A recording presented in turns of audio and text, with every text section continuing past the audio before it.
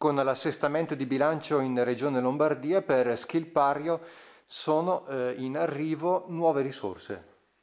Sì, eh, in effetti la Regione Lombardia ha accolto le nostre istanze e ci ha assegnato una somma eh, considerevole al fine di ehm, permettere una maggior ricettività dal punto di vista turistico. Abbiamo notato come sono cambiate le cose dopo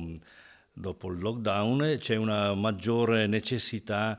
eh, da parte dei nostri turisti de, degli spazi aperti, delle passeggiate, notiamo spesso anche in paese famiglie con i bambini, con, con gli zaini a spalle, quindi si, si nota proprio una, una, un differente modo di vivere la montagna e abbiamo capito che anche per il rifugio Tagliaferri, che è il rifugio più alto delle Orobie, ehm, c'era questa necessità di dotare di maggiori spazi di, di accoglienza a livello di parcheggi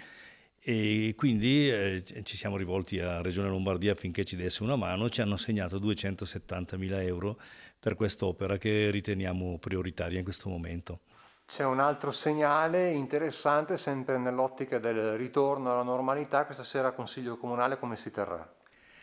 Sì, in effetti dopo il lungo periodo invernale eh, durante il quale eh, sia le giunte che, il, ehm, che, i consigli comunali sono stati effettuati a distanza eh, con gli strumenti telematici, e questa sera il primo consiglio comunale eh, con, con, la presenza del, del pubblico e dei consiglieri. Alle 17.30 presso l'aula consigliare di Schilpario e naturalmente verranno rispettate le norme eh, indispensabili come il distanziamento, la possibilità di, di sanificare le, le, mani, provare la febbre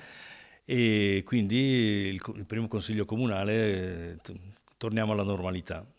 Ecco, durante questo fine settimana avremo a Schilpario due manifestazioni importanti in chiave di accoglienza turistica. Una è legata all'attività mineraria, un'esposizione di antiche luci eh, che si utilizzavano all'interno delle miniere, appunto, e una seconda manifestazione legata alle, alle macchine d'epoca che eh, sfileranno all'interno del paese e rimarranno per varie attività eh, durante tutta la giornata e quindi sarà possibile apprezzarle.